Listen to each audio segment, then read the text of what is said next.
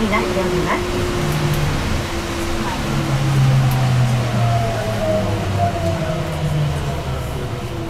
皆様、この辺りは立山連峰の主峰、小山の真下にあたります。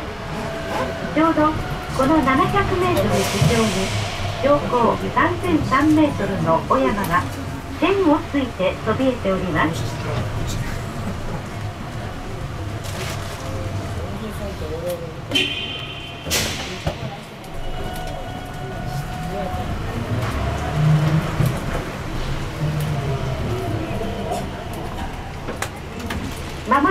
左手に火災隊の標識が付けられております1分間に44トンという恐るべき枠率と戦いながら完成された。ものですが特にこの立山断層火災隊は長さが50メートルにも及ぶ大きな破壊隊でこれを突破するのに13ヶ月もかかったのでございます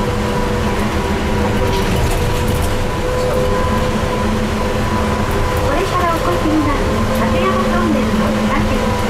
第三号駅は立山東側の垂直に近い地点に建設された鉄筋コンクリート建てで地下2階内地上3階の建物でございます建設2丁の地でありますので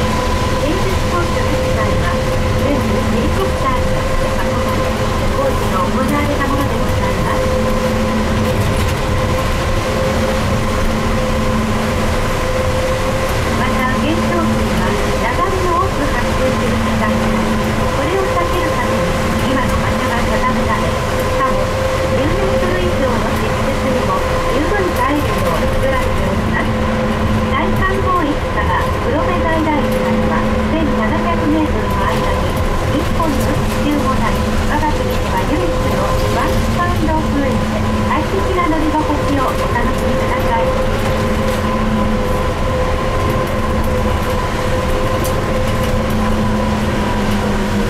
ここで皆様へのお願いがございますこの立山一帯には至る所高山植物が生えており春から秋にかけて季節に応じた。美しい花が私たちの目を楽しませてくれます。可憐な山の空も厳しい条件の中地で長い長い年月をかけてようやく育ちますが一度踏みつけられたりしますとほとんどが咲いてしまいますこの先黒部平の庭園にも珍しい植物が見られますがどうか自然の美しさをいつまでも守り続けるため植物の保護環境保全のためゴミの持ち帰りにご協力をお願いしています。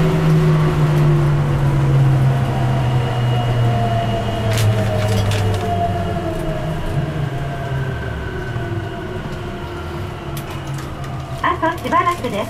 大観望駅に到着いたします。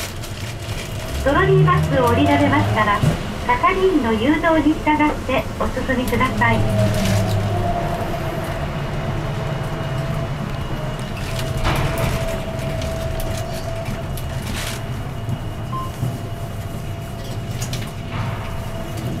ご乗車ありがとうございました。車内にお忘れ物のございませんようお降りください。